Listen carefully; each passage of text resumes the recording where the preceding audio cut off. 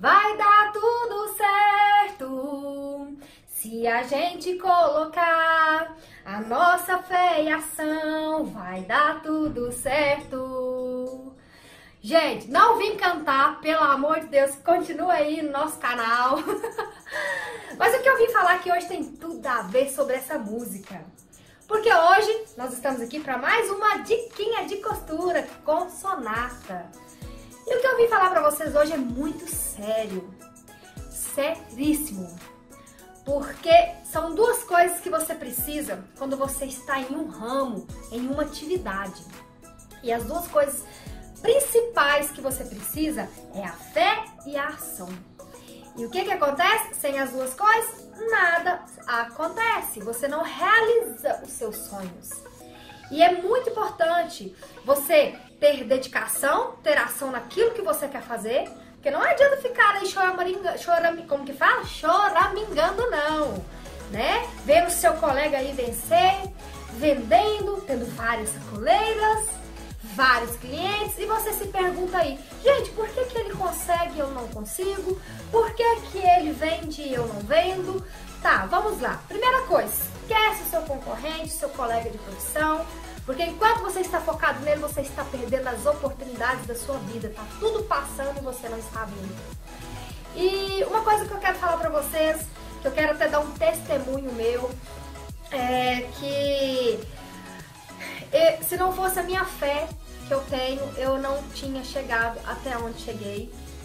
É, não teria a loja, não teria nada, porque uma coisa que você precisa muito é consultar a Deus tudo aquilo que você for fazer.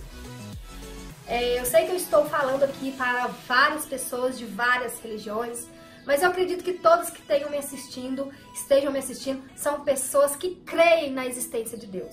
Então, sempre que você for fazer, tomar uma decisão, tenha fé, acredite, peça a Deus direção para que você, para que Ele possa estar sempre à frente nas suas decisões, na sua profissão, no seu ramo, no seu comércio. Isso é muito importante. Não teria como eu falar de sucesso se eu não falasse disso para você.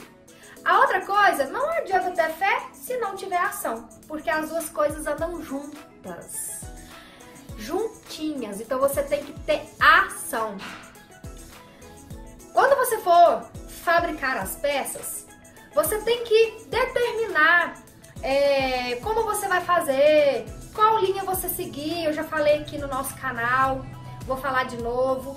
E você tem que, a partir do momento que você traçou o que você vai fazer, é, traçou os modelos que você vai lançar, as cores que você vai trabalhar, porque isso tudo são decisões, essas decisões dependem só de você e da pesquisa que você fez no seu mercado.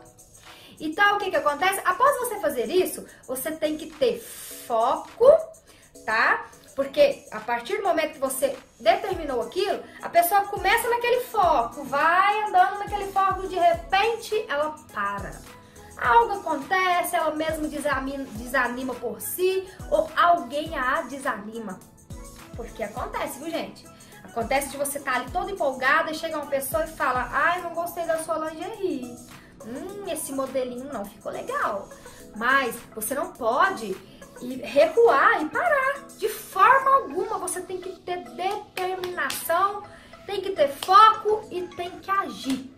Então, continua, não perca seu foco, faça o que você tem vontade, se torne-se realizada com isso, se torne feliz. Eu quero falar uma coisa para você. Depois da fé, depois da ação, vem um outro processo também que eu acho muito importante, que é a valorização do seu produto.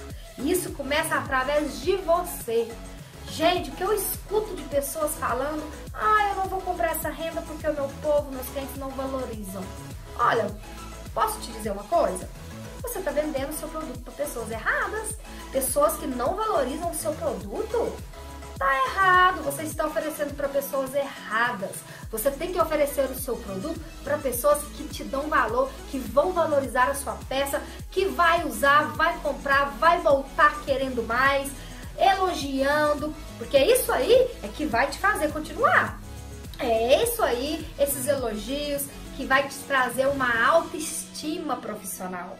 E é muito importante isso. Então preste muita atenção para quem você está oferecendo as suas peças.